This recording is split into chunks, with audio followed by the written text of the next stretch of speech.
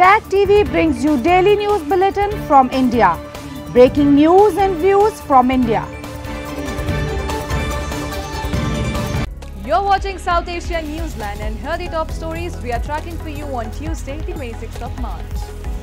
Indian opposition supporters detained ahead of protest near PM Modi's residence. MQM founder leader says corrupt Pak army generals, ISI chiefs real traitors. Sri Lanka cabinet approves 40% hike to minimum wage.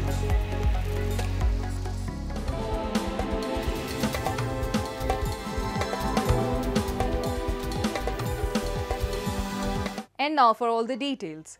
Delhi police on Tuesday detained dozens of supporters of Aam Aadmi Party leaders who took to streets as they protested against the arrest of Delhi Chief Minister Arvind Kejriwal and attempted to march to Prime Minister Narendra Modi's residence.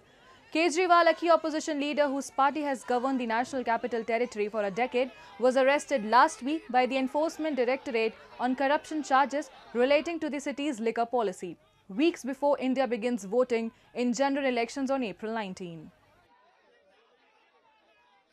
आज दिल्ली के लोग अपने प्रधानमंत्री जी से सवाल पूछना चाह रहे थे उनको गिरफ़्तार कर लिया गया ये तो निहायत शर्मनाक है ये तो तानाशाही की प्रकाष्ठा है लोग लोकतंत्र में अपनी आवाज़ नहीं उठा सकते आगे आपको जानने Meanwhile, the ruling BJP organized a counter protest demanding Arvind Kejriwal's resignation. The AAP has asserted that Kejriwal will continue to serve as Delhi's chief minister even if he operates from within the jail.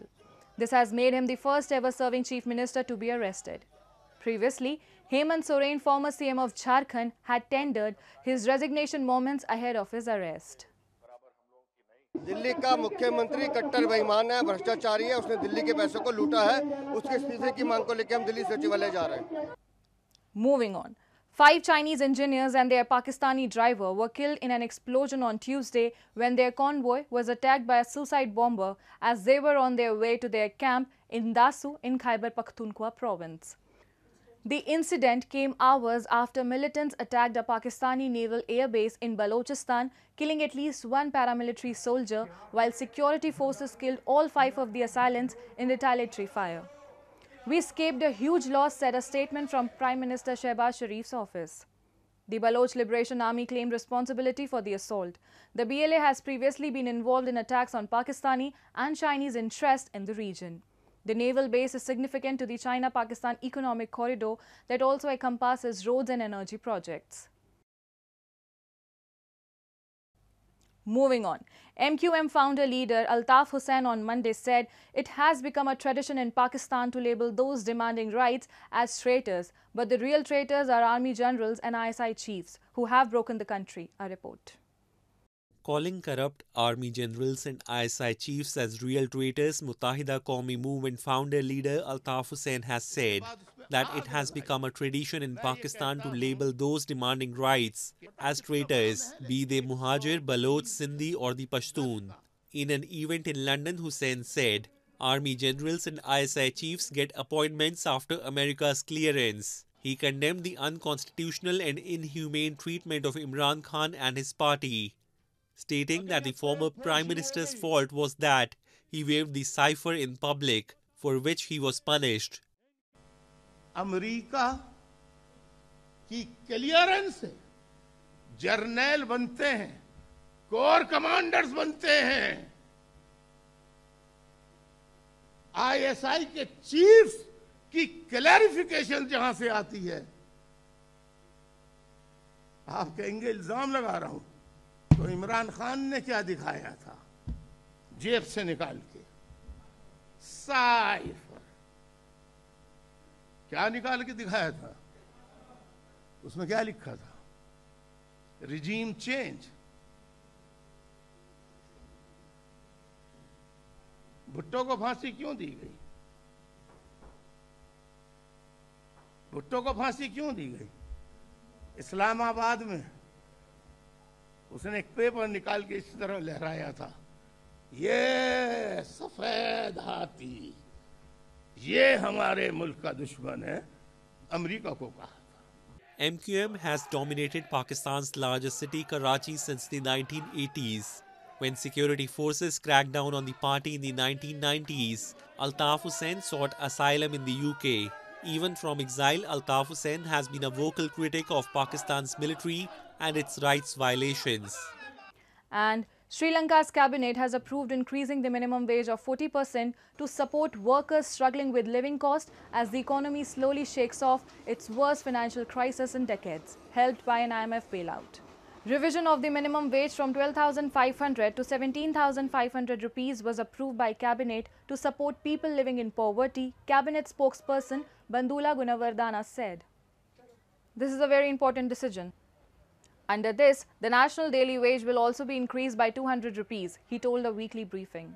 Helped by $2.9 billion program from the IMF, the island nation of 22 million people has seen its economy slowly stabilize with inflation reducing to 5.9% in February from a high of 70%.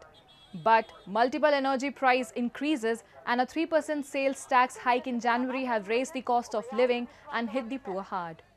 Moving on, London Science Museum on Tuesday opened Energy Revolution, the Adani Green Energy Gallery, which explores how renewable energy can help tackle climate change.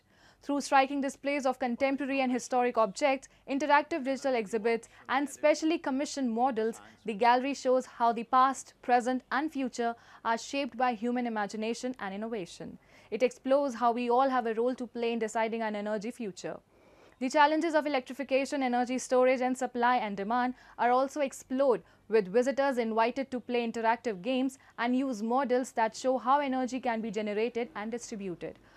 Possible routes to low carbon transport are featured as well. The decarbonization of our buildings and construction industries and visitors can learn about climate modeling and see instruments used to measure climate.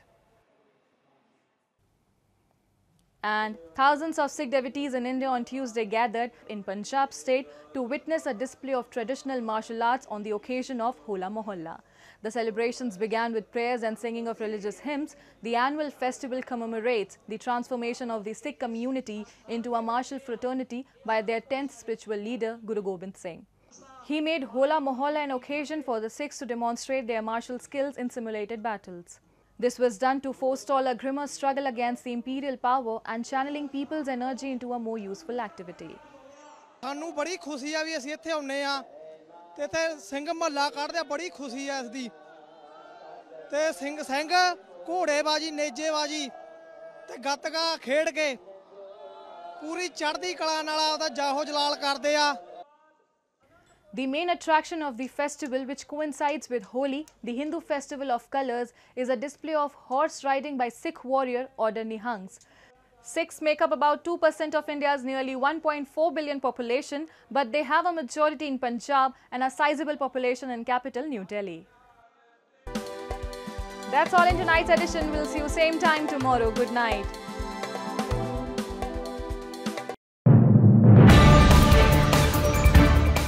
Tag TV brings you daily news bulletin from India. Breaking news and views from India.